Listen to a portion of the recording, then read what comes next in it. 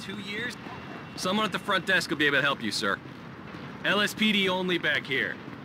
You're under arrest! You can't go in there!